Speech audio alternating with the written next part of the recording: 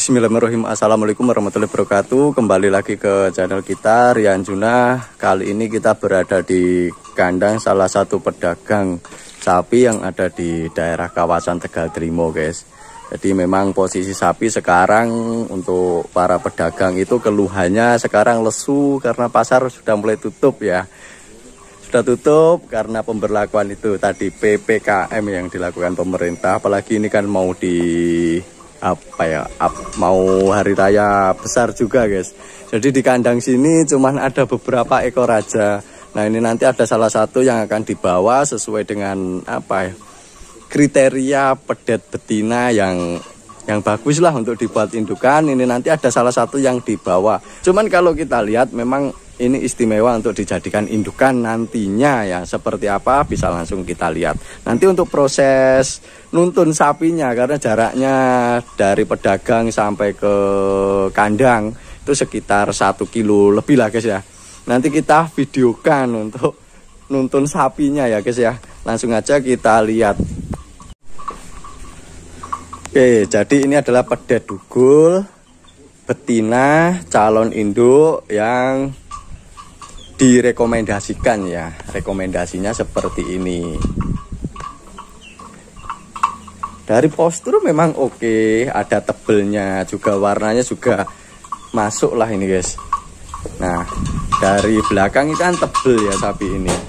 Meskipun putingnya ada lima loh guys itu guys. Putingnya ada lima itu nggak pengaruh. Hanya pada waktu kontes aja guys yang pengaruh. Ini dugul sesuai dengan angan-angan untuk pengembangan sapi-sapi dugul. Itu kan rata-rata tebel. Yang juara satu kemarin dugul yang ini juga dugul. Ini sudah si mental ya mungkin F3 mungkin ini. Kalau kita lihat soalnya dari struktur bodinya ini masih menyerupai F3an lah guys. Jadi masih bagus untuk dibuat indukan. Kalau sudah F4 F5 itu mungkin kendalanya satu ya. Di cuaca ya kondisi kadang-kadang sulit untuk adaptasinya. Kalau ini kayaknya oke. Okay. ini adalah pilihannya pilihannya seperti ini. Kita lihat untuk kulitnya. Nah ini ya kulitnya halus memes memes. Jadi sapi kalau halus ini padahal kan masih pedetan ya. Kalau halus rata-rata itu tenang tenang. Apa ya sifatnya memiliki sifat yang tenang, nggak mudah stres. Untuk pemilihannya seperti ini. Cuman mungkin F3 loh. Ini nanti bakalan ini ya kalau kita prediksi. Nah, gentong tawon. Kalau orangnya nyebut itu di gelambir paling bawah nah sebelah sini itu nanti akan bulat gitu loh guys. Jadi nggak nggak tipis, nggak tipis gini, bulat. Cuman untuk yang sebelah lehernya itu nggak bisa kayak sapi Brahman itu nggak bisa. Gentong tawon lah kalau orang bilang. Di sini ada tiga ekor yang dua ekor betina eh apa ya yang tiga ekor betina yang satunya jantan yang ada di sebelah sana mungkin buat stok kurbanan ya. Karena masih sepi guys untuk pasar juga tutup dagang pun juga keluhannya sangat banyak. Ya kita maklumi untuk pedetan seperti ini, pedetan dugul ini rata-rata memiliki badan yang tebal bisa dilihat sendiri untuk perbandingannya seperti ini. Menyenangkan memang. Dipandang itu enak loh sebenarnya pedetan ini. Bagus juga, cuman karena usianya masih pedet, jadi belum terlalu besar. Nah, nanti untuk kawinan yang bagus itu sebenarnya ya usia satu tahun setengah ke atas itu bagus guys kalau di bawah satu tahun banyak sapi yang memiliki apa ya yang minta kawin di bawah satu tahun itu banyak.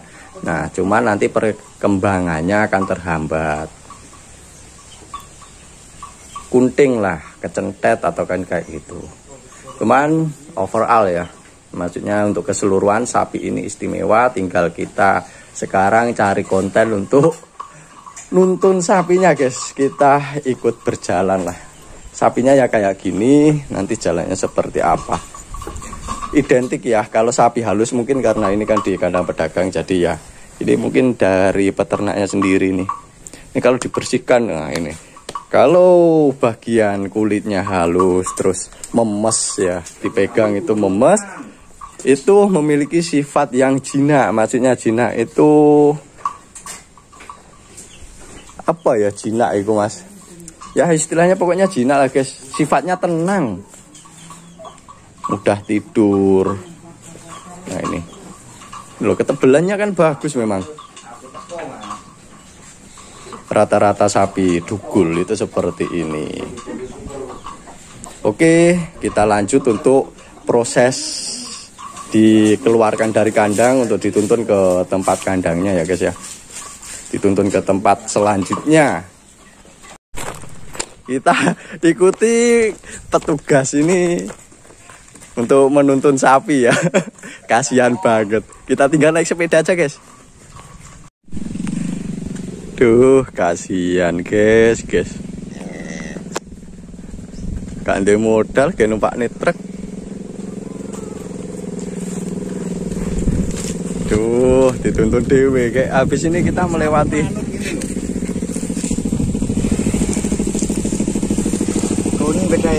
Eh,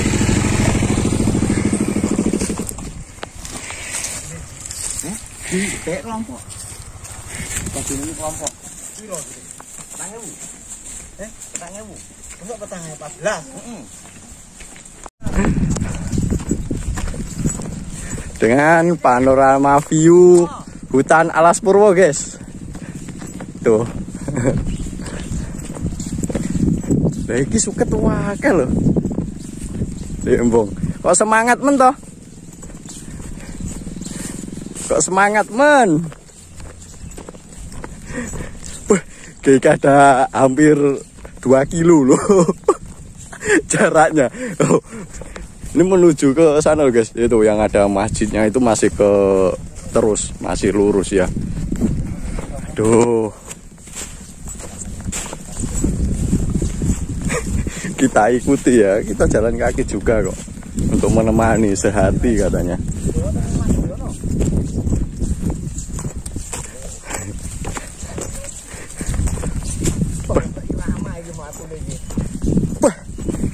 Aduh nyo Aduh Eh, ini keliwatmu di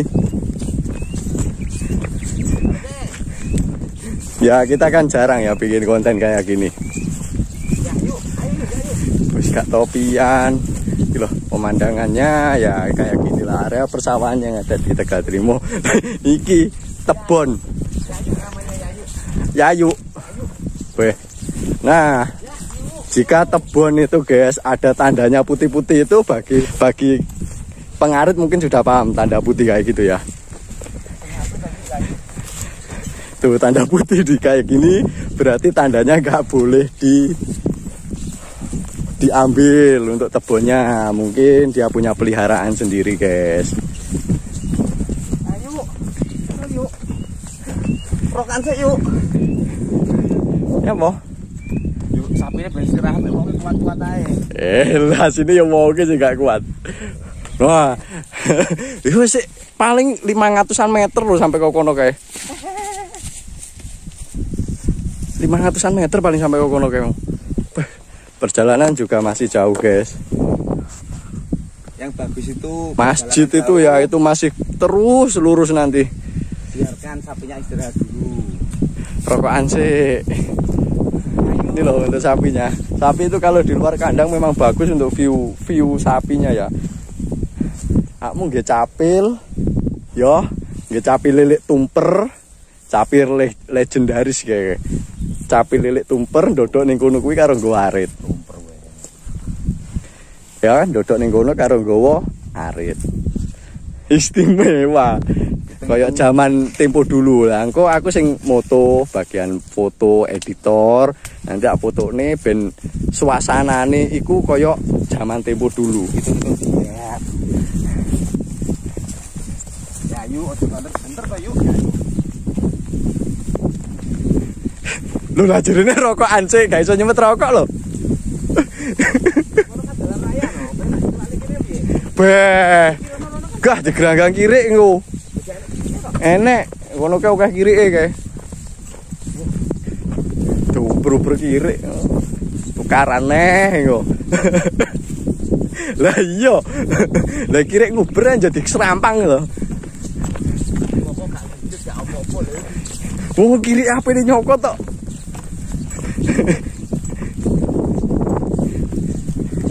Eman kiri eh apa eman gentole?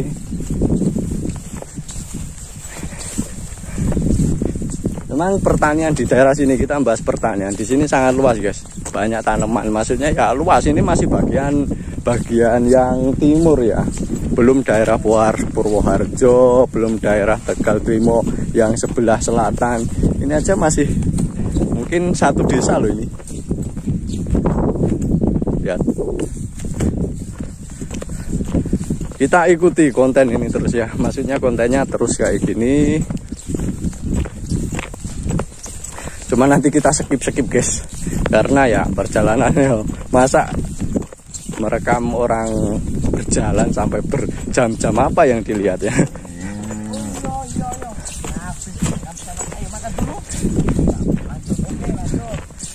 Lanjut geng Iya yo ket mau ki awakmu wis nyebut Yayu yo ya Yayu ket mau ki. Oh jadi bulan baleni. Aku mau yo ganggu stabilizer. Untungnya HP ini gak goyang. Nah, mangan mangan kawul sih. Ben lara kok kono.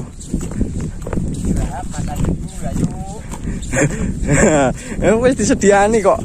Alam itu men apa ya? Menciptakan. Loh gak gelem kawul loh ya rata-rata kalau sapi daerah sini nggak mau guys. Kawul kayak gini. Nggak mau memang. Maunya hijauan.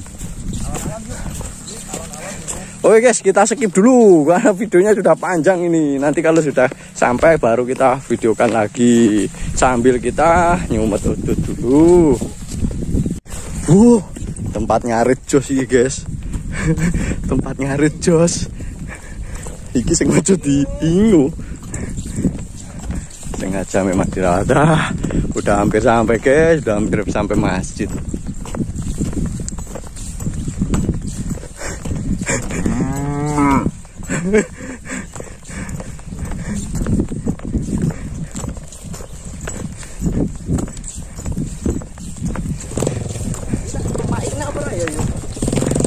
Aku adalah anak gembala Selalu riang serta gembira. Karena aku senang bekerja Tak kenal lelah. Terus Iya tuh nyonya lagu nih La la la. La la la la. La la la la la la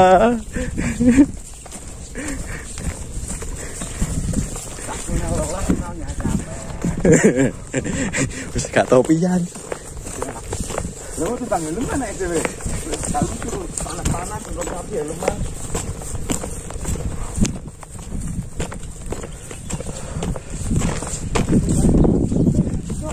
Ah, suket bar diobat ya kering kok tapimu. Ket moho yo ya yayu yo ya yayu ya. Mungkin dia teringat mantannya kayaknya guys. Mungkin mantannya namanya Yayu. Karena dendam ya udah buat nama sapi aja Yayu.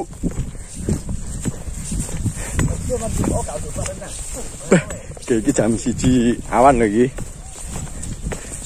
Wis luwe lho jane. Gak sapine tok sing luwe nyo. Wah, bareng itu rujak. Masuk. Nah, makan dulu. Ayo makan dulu. Dulu kuno, ibu.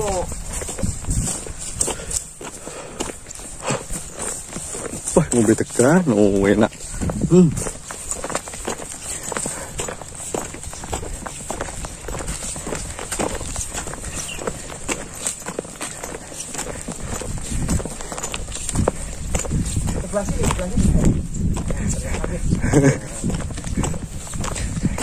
Nyanyi nyanyi ya Tonyo. Ben gak pati kesel. Buat capeknya. Udah masuk dalam pedesaan ya guys ya. udah nyampe masjid tempat kita tempat kita awal nggak kelihatan makan makan jatuh kalau kalau nih udah guys. Kita skip sampai ke kandang. Ah akhirnya guys sampai juga kita ke tempat tujuan. Tinggal lapernya loh ini. Belum makan loh ini guys. Duh, itu golek rujak ini beli rujak enak ini. Oke, kita tutup dulu untuk video kali ini. See you next video. Assalamualaikum warahmatullahi wabarakatuh.